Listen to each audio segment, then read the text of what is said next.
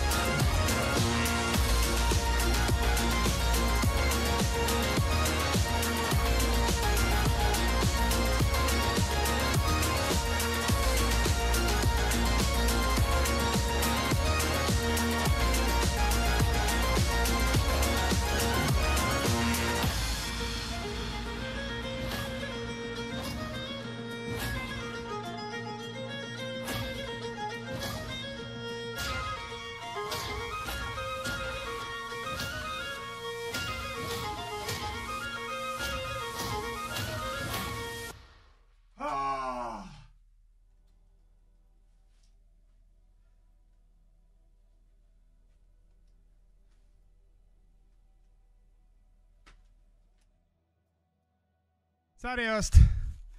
När jag säger att det är lagg inne i där så menar jag att det är lagg där inne. Det är, jag missade en, och jag missade en utav de som jag tycker är absolut svårast. Det är den som kommer efter ett, en lång trudeluttan och så kommer den upp till vänster. Är man inte tillräckligt snabb på den, då missar man den. Och när det är lagg, när det inte är 60 FPS som det brukar vara, utan det är kanske 15 eller 20 när det kommer så extremt många, då är det då får man inte riktigt in tempot och slå till den och då händer det att man missar den. Eh, så när jag inte spelar in, då missar jag dem nästan aldrig. Men när jag spelar in, då sjunker FPSen så sinnessjukt mycket. Men gott folk, det är eh, asballt. Det här är skitskoj. Jag vet inte riktigt varför jag inte har hittat, eller varför jag inte har eh, gjort detta innan. Jag hoppas innerligt att ni tycker att det är roligt. För jag tycker det är skoj. Och sen får jag lite träning på köpet och sen blir jag lite svettig och det är gött också. Och sen är det också så att jag pratar ju inte så mycket i de här videorna i och med att det är mycket spelande. Mycket musik, mycket spelande. Och ja, jag vet att det finns moddar till eh, eh, Beat Saber. Men nu när jag spelar detta, och jag hade moddar ett tag, men nu när jag spelar detta så har det kommit en helt ny uppdatering. Och i den uppdateringen så gjorde Beat Saber också så att de tog bort alla moddarna. Möjligheten att modda just för tillfället i alla fall, som jag förstår det. Och sen har de lagt in music eh, bundles som man kan köpa för riktiga pengar då. Jag antar att Beat Saber vill tjäna mer pengar. Och det är därför de har gjort så. Vi får se ifall moddandet kommer tillbaks. Kommer det tillbaks så ska jag naturligtvis lägga in moddar så vi kan spela lite andra låtar än de som är i programmet. Jag ska också ta och köpa de här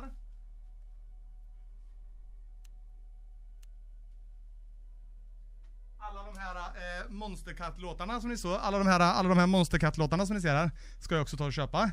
Så att vi kan köra någon av de rackarna. Eh, tycker jag. Gott folk, säg vad ni tycker. Vill ni se mer ut detta? Lämna en fet tumme upp, skriv en kommentar och prenumerera så ni inte missar då nästa gång. Så ses vi då. Ha det gott! Hejdå! Ah. Vad varmt det blev.